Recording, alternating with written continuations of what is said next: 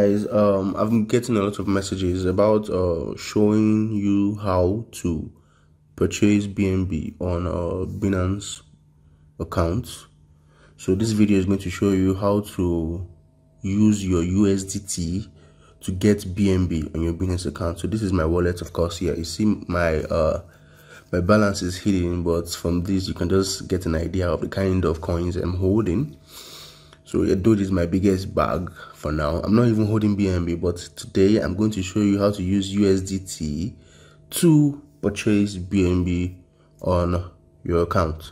So the first thing of course is to come over here. Now you can see uh, bnb is trading at 493 dollars. This is about 12 percent up from its price last week. So what we're going to do is to search for uh, bnb I'm ha I have USDT on my account, so I'm going to use USDT to make the purchase. So you click on BNB USDT, then you can see the uh, the rise, the meteoric rise. It's capped at 509, and then later came down back to 492. So now we're going to buy BNB. I have 114 USDT on my account, so I want to use 25% of it. So you can do 25. 25% is saying that it's going to use uh 25% of my 114 USDT to make a purchase for the BNB. So 25% of 114 USDT is 0.0582 BNB, which is worth $28. If I put it at 50%, that's 50% of 114 USDT, which is uh, 0.1165, and that's $57. So for the purpose of this video, I'm just going to uh, make a purchase of just 25% worth of BNB so let's do it. Or you just have to just click on it.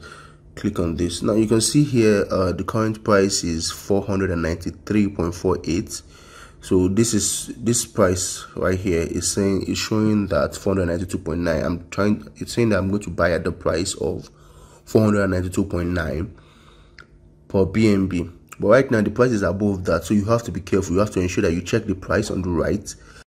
So uh, for the purpose of this video we're going to use 25% to make a purchase.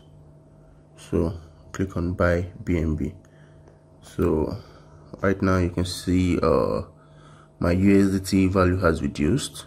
It's 86 from 114 and my BNB has increased. I have 0.058188 BNB so basically this is how easy it is for you to have BNB on your account so you can see it here $28 worth of BNB on my account. This is how easy for you to buy BNB with USDT on your Binance account. So thank you for watching this video. Don't forget to subscribe like and drop your questions or comments. I will attend to all comments. See you in the next video